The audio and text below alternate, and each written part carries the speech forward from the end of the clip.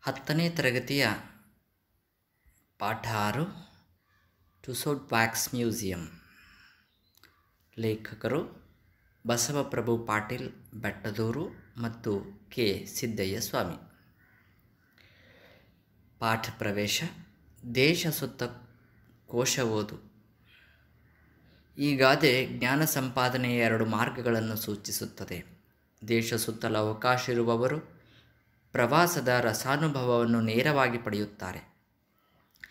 ಈ ಅವಕಾಶದಿಂದ ವಂಚಿತರಾದವರು ಪ್ರವಾಸ ಸಾಹಿತ್ಯವನ್ನು ಓದುವುದರ ಮೂಲಕ ರಸಾನಂದವನ್ನು ಪರೋಕ್ಷವಾಗಿ ಪಡೆಯುತ್ತಾರೆ.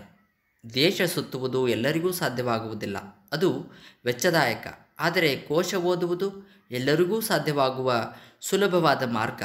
ಕೆಲವರು ದೇಶ ವಿದೇಶಗಳನ್ನು ಸಂದರ್ಶಿಸಿ ಅಲ್ಲಿನ ಇತಿಹಾಸ, ಕಲೆ, ಸಾಹಿತ್ಯ, ವಿಜ್ಞಾನ ಹಾಗೂ ಸಂಸ್ಕೃತಿಗಳನ್ನು ಪರಿಚಯಿಸುವುದರೊಂದಿಗೆ ಪ್ರವಾಸ ಕಾಲದಲ್ಲಿ ತಾವು ಕಂಡುಂಡ ಅನುಭವಗಳನ್ನು ನೋಡಿದ ದೃಶ್ಯಗಳನ್ನು ಮನೋಜ್ಞವಾಗಿ ವರ್ಣಿಸುತ್ತಾರೆ. ಈ ರೀತಿಯ ಬರವಣಿಗೆಯನ್ನು ಪ್ರವಾಸ ಸಾಹಿತ್ಯವೆಂದು ಕರೆಯುತ್ತೇವೆ.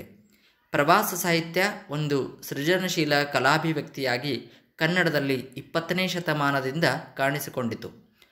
ಸೂರಿ ವೆಂಕಟರಮಣ ಶಾಸ್ತ್ರಿ ಕರ್ಕಿ ಅವರ ದಕ್ಷಿಣ ಯಾತ್ರಾ ಚರಿತ್ರೆ ಕನ್ನಡದ ಮೊದಲ ಪ್ರವಾಸ ಕಥನವಾಗಿದೆ. ಪ್ರಸ್ತುತ ಪ್ರವಾಸ ಕಥನದಲ್ಲಿ ಲೇಖಕರು ಯುರೋಪಿನಲ್ಲಿ ಕಂಡುಂಡ ಅನುಭವಗಳನ್ನು ಸರಳ ಶೈಲಿಯಲ್ಲಿ ಅಭಿವ್ಯಕ್ತಿಗೊಳಿಸಿದ್ದಾರೆ. ಲೇಖನವನ್ನು ಓದುತ್ತಿದ್ದಂತೆ ನಮಗೂ ಲಂಡನ್ನಿನಲ್ಲಿ ಸಂಚರಿಸಿದ ಅನುಭವ ಉಂಟಾಗುತ್ತದೆ. ಈ ಮ್ಯೂಸಿಯಂ ನೋಡಲು ಒಂದು ತಾಸು ಸಮಯವೆಂದು ನಮ್ಮ ಗೈಡ್ ಹೇಳಿದರು. ಮೇಡಮ್ ಟುಸೋಟ್ ಈ ವ್ಯಾಕ್ಸ್ ಗೊಂಬೆಗಳನ್ನು ಮೊದಲು ಮಾಡಿದವರು. ಈ ಮೇಣದ ಗೊಂಬೆಗಳು ತದ್ರೂಪ ಒಬ್ಬ ವ್ಯಕ್ತಿಯನ್ನೇ ಹೋಲುತ್ತವೆ. ಯಾವ ವ್ಯಕ್ತಿಯನ್ನು ಮೇಣದಲ್ಲಿ ಮಾಡಿರುತ್ತಾರೋ ಅವರನ್ನು Shahrukh Khan, Aamir Khan, Amitabh Bachchan, Marilyn Monroe, tennis ತಾರೆ ಬೇಕರ್ ಬೌರ್ ಹೀಗೆ ಪ್ರಸಿದ್ಧರ ವ್ಯಾಕ್ಸ್ ಗೊಂಬೆ ಮಾಡಿದ್ದಾರೆ. ಈ ಮೂರ್ತಿಗಳ ಪಕ್ಕದಲ್ಲಿ ನಿಂತು ನೀವು ಫೋಟೋ ತೆಗೆಸಿಕೊಂಡರೆ ನಿಜವಾದ ವ್ಯಕ್ತಿಯೊಂದಿಗೆ ಇದ್ದೇವೇನೋ ಅನಿಸುತ್ತದೆ ಈ ಸಹಜತೆಯೇ ಆ ಮೇಣದ ಬೊಂಬೆಗಳ ವೈಶಿಷ್ಟ್ಯ. ಆ ಮೇಣದ ಬೊಂಬೆಗಳ ವೈಶಿಷ್ಟ್ಯ. ಇದೇ ಮ್ಯೂಸಿಯಂ ಅಲ್ಲಿ ಚೀರುವ ಭಯಾನಕವಾಗಿ ಕಿರುಚುವ ಶಬ್ದ ಕೇಳಿಬರುತ್ತದೆ. ಅದು ರಾಜರು ತಮ್ಮ ವಿರೋಧಿಗಳನ್ನು ಕೊಲ್ಲಿಸುತ್ತಿದ್ದ ಸಮಯದಲ್ಲಿ ಅವರು ಹೊರಡಿಸುತ್ತಿದ್ದ ಚಿತ್ಕಾರಗಳು. ನಾನು ಮತ್ತು ಸತೀಶ್ ಒಂದು ಹಾಲಿನೊಳಗಿಂದ ಹೋದಾಗ ಅಲ್ಲಿ ನಮ್ಮ ಮೇಲೆ ಆಕ್ರಮಣ ಮಾಡಲು ಕತ್ತಿ ಹಿಡಿದು ಒಬ್ಬ ಬಂದ. ಒಬ್ಬ ಕತ್ತು ಹಿಚ್ಚುಕಲು ಬರುವವನಂತೆ ವಿಕಾರವಾಗಿ ಕಿರಿಸುತ್ತಾ ಹೊಟ್ಟೆಗೆ ಡ್ಯಾಗರ್ ತಿವಿಯಲು ಬಂದಂತೆ ಮಾಡಿದಾಗ ನಾವು ಅಂಜಿ ಹೋದೆವು. ಆದರೆ ಅದು ಕ್ಷಣ ಮಾತ್ರ. ನಮಗೆ ಅವರು ಅಪಾಯ ಮಾಡಲಿಲ್ಲ. ಅದು ಒಂದು ರೀತಿಯ ಹಿಂದಿನ ಕಾಲದ ಕ್ರೂರಿಗಳ ನಡವಳಿಕೆ ತೋರಿಸುವ ರೀತಿಯಾಗಿತ್ತು. ಎಂದು M J M S J M ಕಾಲೇಜಿನ ಉಪನ್ಯಾಸಕರಾದ ಇಂಜಿನಿಯರ್ ರಮೇಶ್ ನಮಗೆ ಹೇಳಿದರು. ಅಲ್ಲದೆ, ಅಲ್ಲಿನ ಬಹಳ ಥಿಯೇಟರ್ಗಳಲ್ಲಿ ತ್ರೀ ಡಿ ಕನ್ನಡಕ ಹಾಕಿಕೊಂಡು ತಾರಾಲಯ ನೋಡಿದೆವು. ತುಂಬ ಹತ್ತಿರದಿಂದ ನಮಗೆ ನಕ್ಷತ್ರಗಳು ಕಂಡವು ಎಂದು ಹೇಳಿದರು. ನಮಗೆ ಅದು ನೋಡಲಾಗಲಿಲ್ಲ. ವ್ಯಾಕ್ಸ್ ಪ್ರತಿಮೆ ನೋಡಿ ಅಲ್ಲಿನ ಗದ್ದಲ ನೋಡಿ ನಾವು ನಾಲ್ಕೈದು ಜನ ಸಾಕಪ್ಪ ಎಂದು ಹೊರಗೆ ಬಂದಿದ್ದೆವು.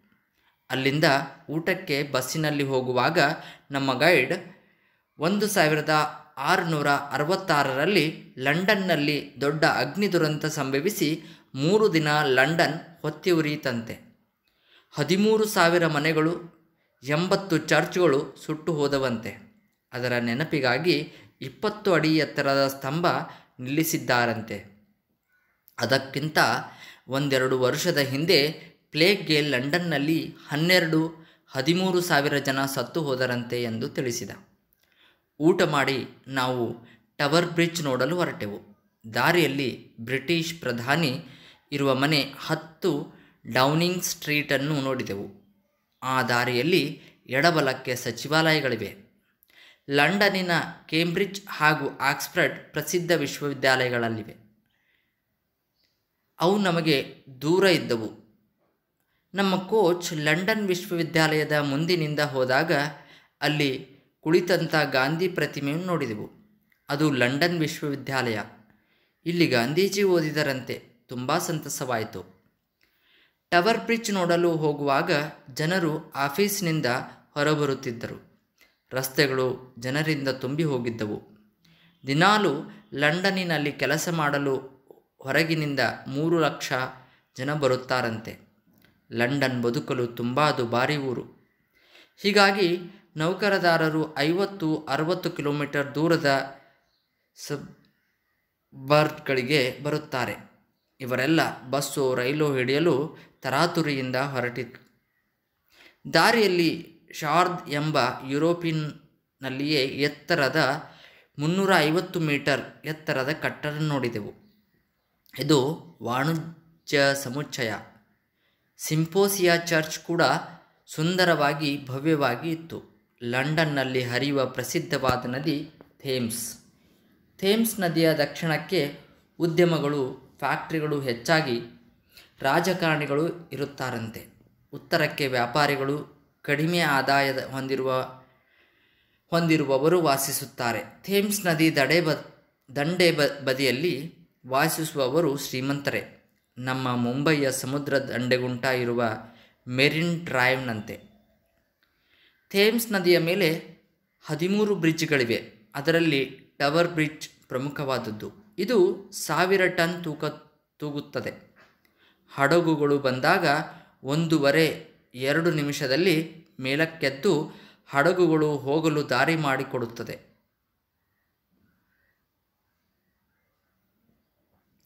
ಈ ಟವರ್ ಬ್ರಿಡ್ಜ್ನಂತೆ ಈ ಥೇಮ್ಸ್ ನದಿಯ ಮೇಲೆ ವೆಸ್ಟ್ ಮಿನಿಸ್ಟರ್ ಸೇತುವೆ, ವಾಟರ್ಲೂ ಸೇತುವೆ, ಲಂಡನ್ ಸೇತುವೆ ಪ್ರಸಿದ್ಧವಾಗಿವೆ. ಲಂಡನ್ ಬ್ರಿಡ್ಜ್ಗೆ ಹತ್ತಿರದಲ್ಲೇ ಟವರ್ ಆಫ್ ಲಂಡನ್ ನೋಡಿದೆವು. ಮೂರು ನಾಲ್ಕು ಅಂತಸ್ತಿನ ಚೌಕಾಕಾರದ ಬೃಹತ್ ಕಟ್ಟಡದ ಮೇಲೆ ಟವರ್ಗಳಿವೆ. ಇದು ರಾಜರು ತಮಗೆ ಆಗದವರನ್ನು ಕೊಲ್ಲಿಸಿದ ಜಾಗ. ರಾಜಮನೆತನಗಳಲ್ಲಿ ವೈಷಮ್ಯ ಅಸೂಯೆ ಕೊಲೆ, ಸುಲಿಗೆಗಳ ತಾಣವಿದ್ದು, ರಾಬರ್ಟ್ ಕ್ಲೈವ್ ಹದಿನೇಳುನೂರ ಐವತ್ತೇಳರ ಪ್ಲಾಸಿ ಕದನದಲ್ಲಿ ವಶಪಡಿಸಿಕೊಂಡ ಶಸ್ತ್ರಾಸ್ತ್ರಗಳನ್ನು ಇಲ್ಲಿ ಇಡಲಾಗಿದೆಯಂತೆ. ಇದು ನಿಗೂಢ ಸ್ಥಳ. ಐವರ್ ಬ್ರಿಡ್ಜ್ ಮೇಲೆ ಹಾದು ಟವರ್ ಆಫ್ ಲಂಡನ್ನನ್ನು ಎಡಕ್ಕೆ ಮಾಡಿಕೊಂಡು ನಾವು ಲಂಡನ್ ಐ ನೋಡಲು ಹೋದೆವು. ಅಲ್ಲಿಯೂ ಮತ್ತೊಂದು ಬ್ರಿಡ್ಜ್ ಕ್ರಾಸ್ ಮಾಡಿದೆವು.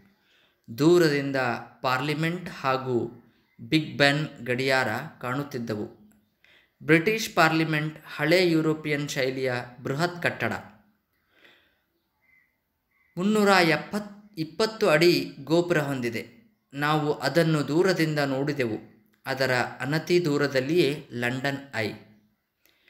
ಹದಿಮೂರು ಯೂರೋ ನೀಡಿ ಅಲ್ಲಿ ಪ್ರವೇಶ ಪಡೆಯಬೇಕು. ನಮ್ಮ ಜಾತ್ರೆಗಳಲ್ಲಿರುವಂತಹ ದೊಡ್ಡ ಚಕ್ರ, ಅದರಲ್ಲಿ ಹನ್ನೆರಡು ಗಾಜಿನ ದುಂಡಗಿನ ಕೋಶಗಳು ಇಪ್ಪತ್ತರಿಂದ ಇಪ್ಪತ್ತೈದು ಜನ ಅದರಲ್ಲಿ ಸೇರಬಹುದು. ನಮ್ಮ ಜಾತ್ರೆಗಳಲ್ಲಿನ ಚಕ್ರ, ಅದರಲ್ಲಿರುವ ತೊಟ್ಟಿಲುಗಳು ಬರಬರ ಮೇಲೇರಿ ಕೆಳಕ್ಕೆ ಇಳಿಯುತ್ತವೆ ಆದರೆ ಈ ಚಕ್ರ ಹಾಗಲ್ಲ.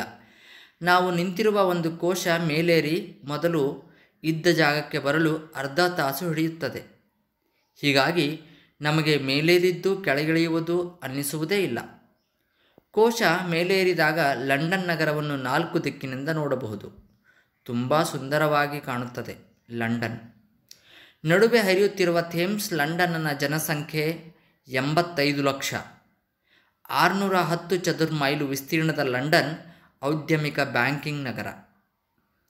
ಲಂಡನ್ ಮಧ್ಯದಿಂದ ಹೊರವಲಯದ ಕಡೆಗೆ ಬಂದಂತೆಲ್ಲ ಲಂಡನ್ ಮಲಗಿ ನಿದ್ರಿಸುತ್ತಿದೆಯೋ ಅನ್ನಿಸುತ್ತದೆ. ರಸ್ತೆ ಮೇಲೆ ಕಾರುಗಳು ಅಪರೂಪಕ್ಕೊಮ್ಮೆ ಸೈಕಲ್ ಕಾಣುತ್ತವೆ. ಮನೆ ಮುಂದೆ ಜ, ಜನಗಳೇ ಇಲ್ಲ. ಇಲ್ಲಿ ಕತ್ತಲಾಗುವುದು ರಾತ್ರಿ ಒಂಬತ್ತಕ್ಕೆ. ಸೂರ್ಯ ಮುಳುಗದ ದೇಶವೆಂದು ಕರೆಯಿಸಿಕೊಳ್ಳುತ್ತಿದ್ದ ಬ್ರಿಟನ್ನಿನಲ್ಲಿ ಸೂರ್ಯನು ಮುಳುಗುತ್ತಾನೆ. ಬೆಳಕು ಮೂಡುವುದು ನಾಲ್ಕು ಗಂಟೆ ಮೂವತ್ತರಿಂದ ಐದಕ್ಕೆ. ಕೆಲ ಬೆಳ್ಳಂಬೆಳಗು, ಲಂಡನ್ ಟ್ಯೂಬ್ ಟ್ರೈನಿಗೆ ಪ್ರಸಿದ್ಧ. ನಮಗೆ ಬರೀ ಕೋಚ್ ಪ್ರಯಾಣ, ಲಂಡನ್ ಟ್ಯೂಬ್ ಟ್ರೈನ್ ನೋಡಲಿಲ್ಲವಲ್ಲ ಎಂಬ ಕೊರಗಾಯಿತು.